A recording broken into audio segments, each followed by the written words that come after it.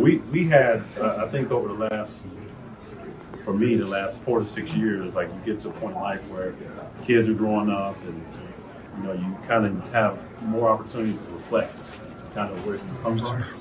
Um, all the things that we've done, like we still travel the world, we still do a lot of stuff in the NBA.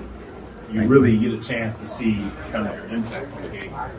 You know, going to Asia, I know you were in, uh, uh, in Shanghai. Uh, we spent a lot of time over there, so um, this is what it's supposed to be like.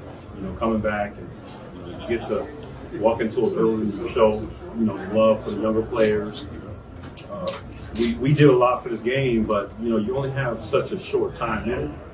But you know you have so much time after to continue to be ambassadors, and I think you know the three of us we've been doing that for what has been 10, 12 years now. Long time. Yeah, and be able to watch them have success.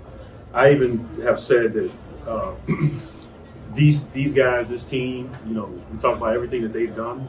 You know, even losing in the finals to come back and win, you know, it's a testament. Really, you know, you figure when these guys got traded, that that kind of lent to their success here in these last couple of years. Take it anything that's going through your mind, just being back in the building with Ray and Paul and the It's always, around it. it's always good to see everybody. It's always always good to see everybody in good health.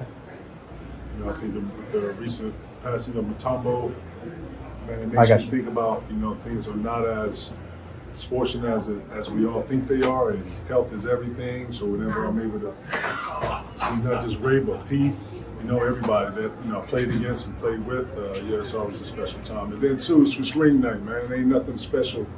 Ain't nothing more special than ring night to commemorate, you know, what we all get ready to celebrate, and to commemorate the new the, the new year too. You know what I'm saying? Yeah, and it's a it's a dope opponent. It's a dope opponent in the house tonight with New York Knicks. So it should be a nice it should be a nice night of basketball. Ray, hold the ring up. here. Oh, yes, sir. I knew somebody was gonna rock it. Yes. All right, let's get, let's get one for Ray's phone right here. Yes, sir. Yes, sir. Good stuff.